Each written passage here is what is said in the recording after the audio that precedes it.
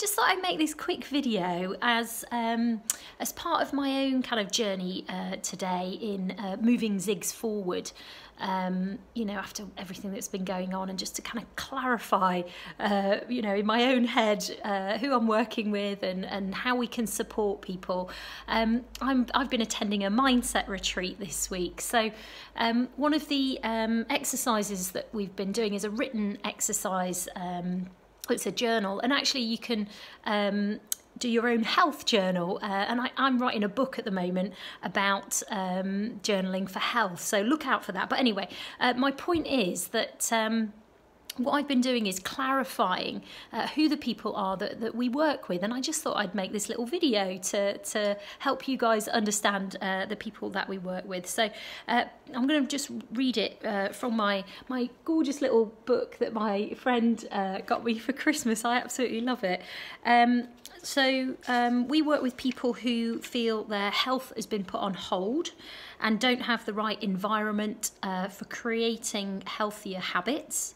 Uh, we work with people who want to change um, their health patterns, but don't really have a roadmap for creating that um, healthier looking future. Uh, we work with people that uh, feel like physically the odds are a bit against them, uh, but together we find a way to work through those uh, physical barriers and obstacles um, to be able to, to move more freely. Uh, we work with people who feel a bit stuck um, with their bodies moving in the way that they would like. We work with people who are often at the now or never stage of life for um, making those healthier changes. We work with people who are juggling uh, kids or grandchildren and would love to have better energy to run round and round around the garden um, uh, after them and be childlike too, a bit like us. Um, we work with people who are struggling to make decisions about what to do to have um, better energy, better fitness, better strength.